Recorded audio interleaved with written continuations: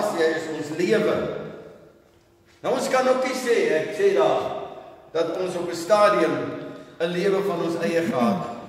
Mense kan sê, "Man, ek het my eie lewe. Ek lewe my eie lewe." Sorry, pel, jy lewe nie jou eie lewe nie. Jy lewe net een van twee. Jy lewe die lewe van die vyand of jy lewe die lewe van God. Dit's nie 'n eie lewe nie. Jy's of besig om hierdie kant toe te gaan, daar's nie 'n middelpad nie. Jy's of besig om op die breë pad te loop na die verderf toe of jy's besig om die, op die nou pad te volg na die hemel. Daar's nie 'n middelpad nie.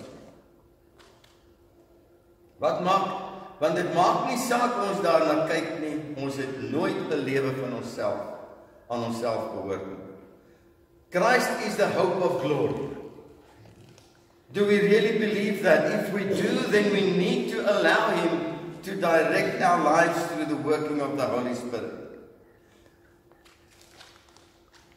Ons kyk op by that, daar sê Jesaja Isaiah 30 verse 20 and Jehovah gives you the bread of adversity and the water of affliction.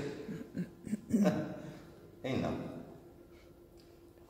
And Jehovah gives you the bread of adversity and the water of affliction. Yet your teachers shall not be removed into a corner anymore, but your eyes shall see your teachers. And your ears shall hear a word behind you saying, This is the way, walk in it. When you turn to the right hand and when you turn to the left, you shall hear the voice. God will allow things in our lives that we do not understand. And we should never try and understand.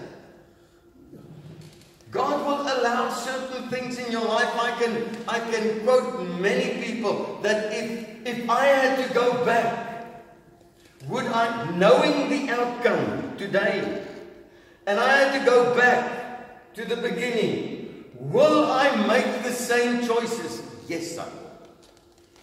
Because I know the outcome. Gaan kyk in die Bybel. Sou Paulus as hy teruggevat word na die pad van Damaskus toe op voor dit, sou hy dieselfde besluite gemaak het? Ja, hy sou. Want as hy dit nie gedoen het, dan het eers ek nie hoop gehad.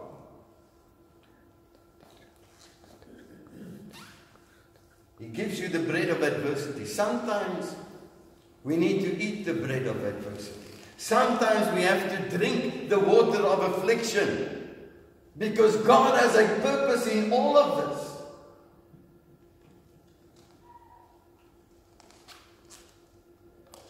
John 1, 1 John 2 verse 27. But the anointing which you received from him abides in you and you do not need anyone to teach you. But as his anointing teaches you concerning all things and is true and no lie, and he has taught you, abide in him. Now,